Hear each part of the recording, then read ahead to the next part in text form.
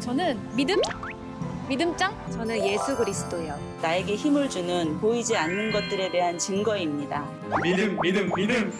예수님에 대해서 설명하는 책이라고 알고 있는데 맞나요? 히브리서에는 어떤 말씀이 들어있을까요? 나도 히브리서 공부하면서 믿음이 단단해질 수 있을까? Brother and sister, 우리 함께 모여서 공부해요.